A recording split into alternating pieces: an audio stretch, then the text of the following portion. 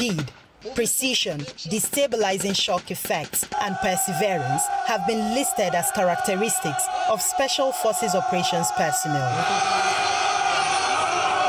112 graduates of the Special Forces Course 10 2022 exhibit these skills during a tactical demonstration after a 12 week course.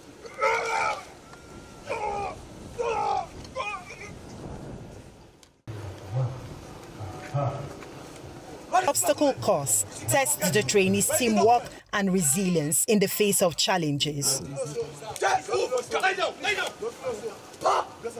The Krav Maga, an Israeli unarmed combat martial arts, enables troops fight and defend themselves without weapon or ammunition. Easy for you to fight. This is exactly what is happening in the Nigerian Air Force Special Forces. Helicopter rappelling is on display here as snipers take out their targets. This is followed by a clearance operation simulated to take out terrorists in a village. This operation prepares personnel to fight in complex air-ground environments.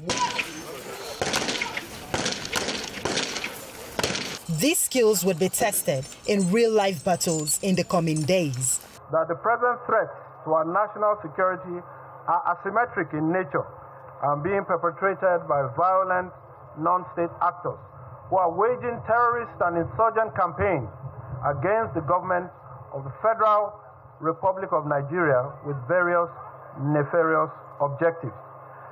As such, these graduating students will join the ranks of elite Nigerian Air Force special operatives responsible for conducting high priority missions aimed at dealing with these threats. The graduates are charged to be professional in discharging their duties. You must be courageous and take the battle to the adversaries of our great nation, be they terrorists, insurgents, or any other criminal elements, in synergy with our sister services and other security agencies.